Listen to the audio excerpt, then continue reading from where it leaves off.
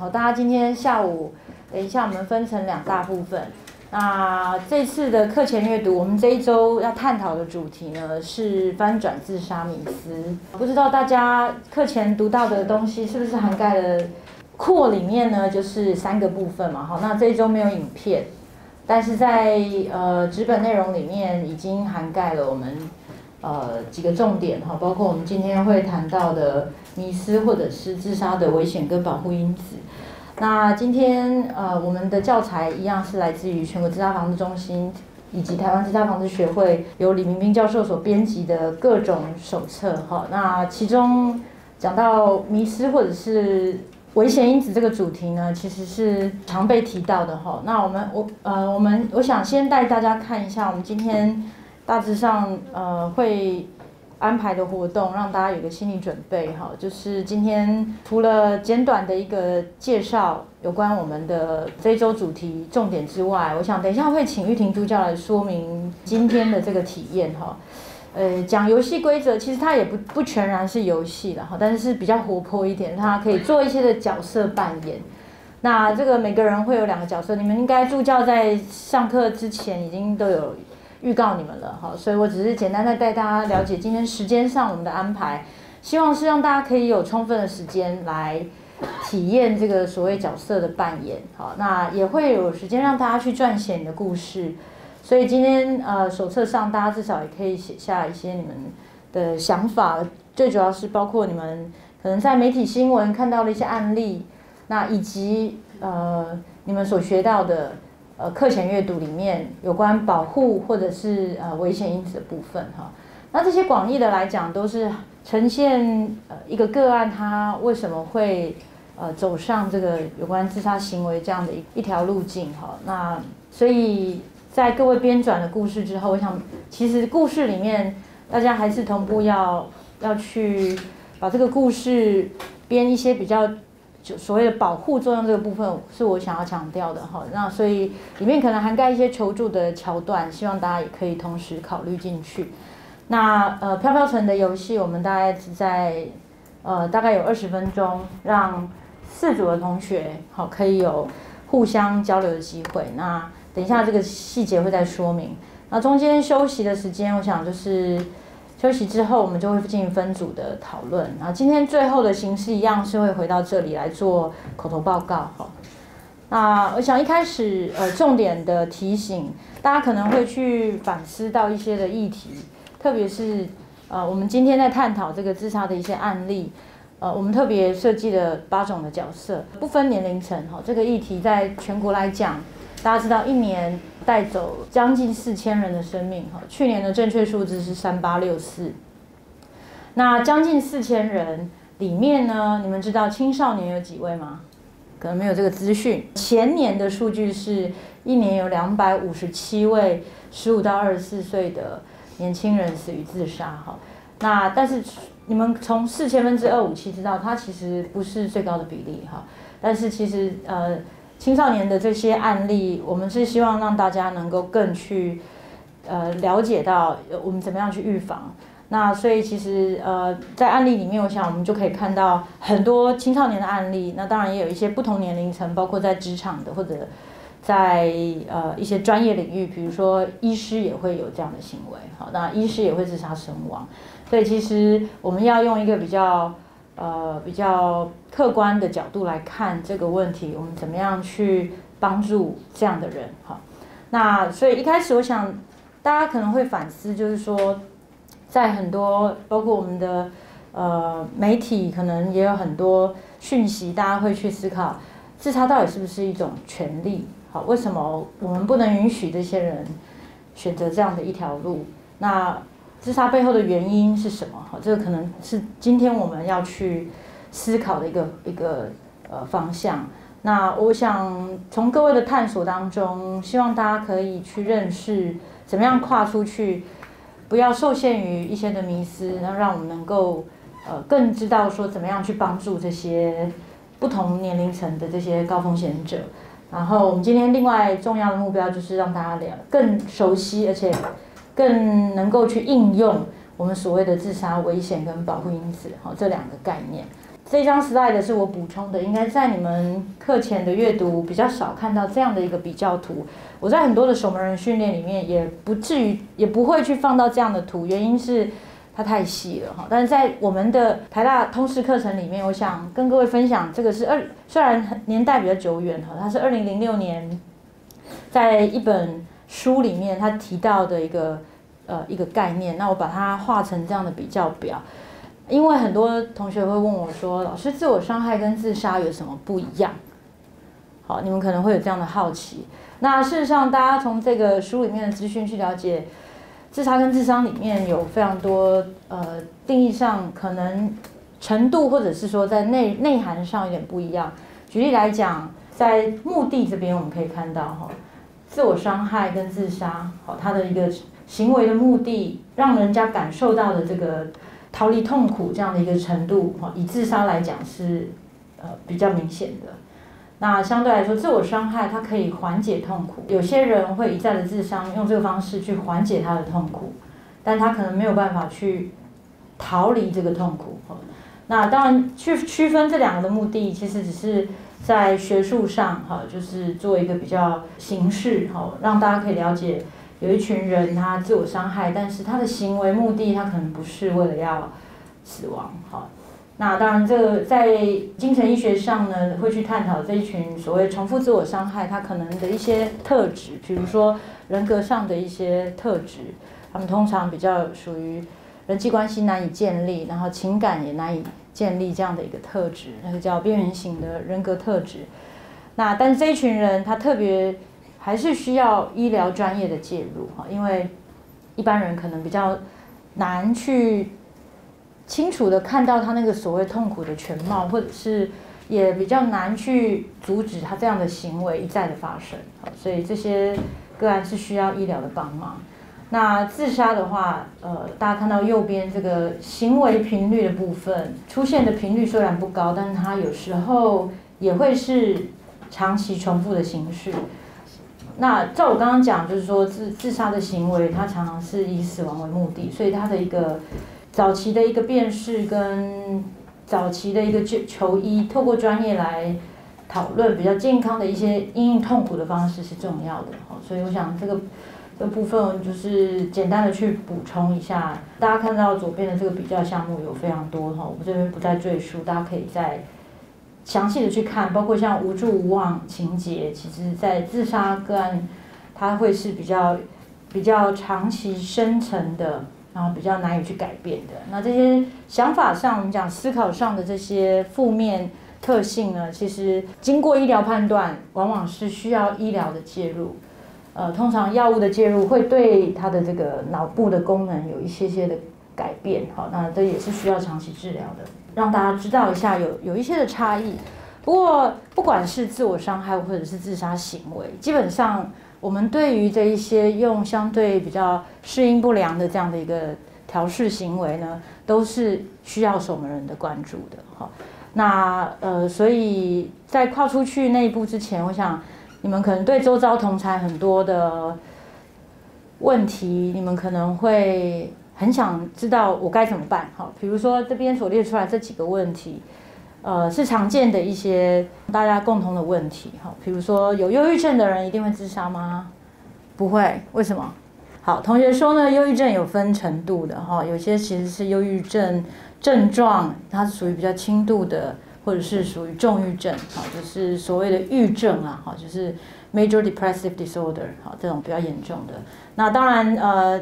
自杀想法是他的症状之一啦，好，所以不是每一个个案他都一定会有这样的行为，他也是有一定的比例，大概是呃十五 percent 的的忧郁症的人会有自杀的行为，好，所以其实比例上来讲也不是说一定会去做，不过就是说针对忧郁症，我们好像下一章有忧郁症的一些迷思，大家要了解一下。那后面几个我想我挑几个比较重要的来考考你们，看看有没有人知道。第七题。接受精神药物治疗后，自杀风险即可解除。那他为什么不去正确？一诺，你说说看。OK，那如果说，呃，我特别 Q 一诺，是因为他是医学系的同学 那当然，你对药物特别有兴趣，特别了解啊。但是我再追问你一个问题哦：如果说今天用抗忧郁剂来治疗一个病人，然后这个药物它并没有达呃会产生自杀行为的副作用，那么这个抗忧郁剂下去之后，它是不是就没有自杀风险了？好，换句话说，呃，药物当然它没有办法完全的去解除，但是当然要看，呃，这个所谓的疗效了哈，可能每个人的体质，还有他的环境是不是有足够的一个支持跟保护作用，这都有关系哈。所以简单来说，谢谢一诺的回答，回答的很好哈。简单来说就是说，药物呃是重要的，但是它还是要完全的去呃要长期的去观察哈，不是所有的药物都是。都是一定要所谓的长期，可能大家会觉得很害怕，到底要多长期？呃，基本上这个是医疗的专业判断，所以这边简单的让大家了解说，接受药物治疗，特别抗忧郁剂，它需要呃一定的时间，至少都要三个月以上，好，可能三个月到数年不等。那配合医疗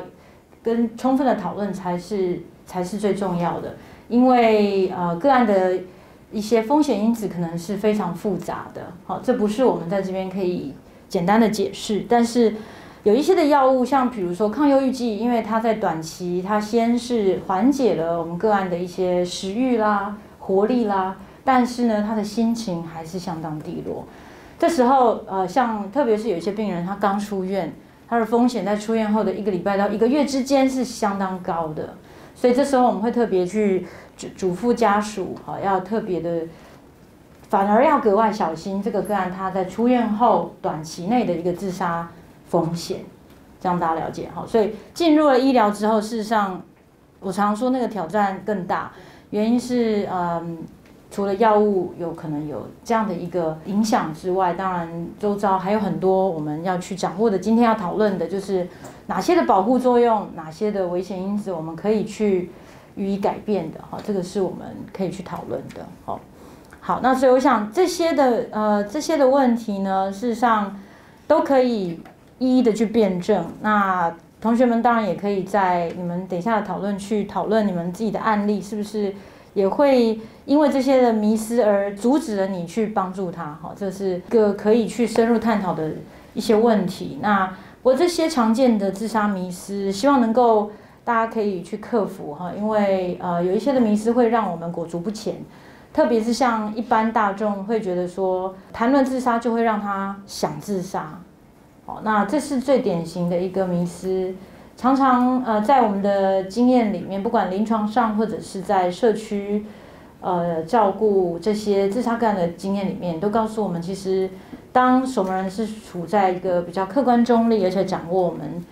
接下来要讲的一些沟通原则，我们后面有后几周的课会讲到沟通的技巧。事实上，当你掌握这些技巧的时候，你去谈论这些自杀的问题，反而会让这些个案觉得很安心，因为他认为呃你是信任他，他也可以信任你哈。那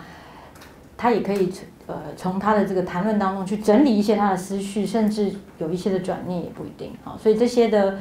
呃。问题，我们我们不要害怕去谈论它，哈，所以这个迷失，我想有关自杀的迷失是大家要注意的，所以呃前面有几个提醒，那再来这个忧郁症的迷思也蛮多的哈，在目前社会上，大家可以看到很多像是忧郁症这个疾病，大家还是充满着好奇跟不了解，但是其实现代的资讯已经非常非常多了哈，网络上包括非常多学协会，像我们也有台湾忧郁症防治协会。也是跟我们的李教授有关哈，他是创会的理事长哈。那在我们台湾，其实忧郁症相关的学协会里面，他们所推动的很多社会的一个一个正确的一些职能或者是 awareness activity，就是引发大众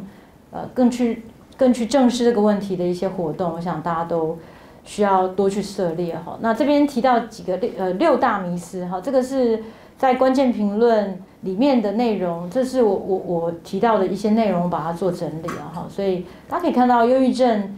这几个迷思其实大部分都是错的哈，但是有几个是对的。那那个对的，我们来看一下迷思三，它的复发性哈，忧忧郁症容易复发，呃是没有错哈，特别是没有根治的话哈。那很多人会说，那忧郁症可以根治吗？像这个迷思二哈。